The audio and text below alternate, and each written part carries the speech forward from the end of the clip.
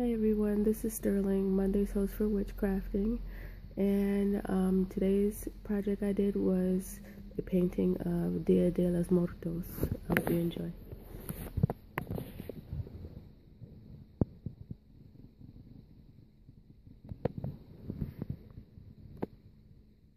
Thank you for watching.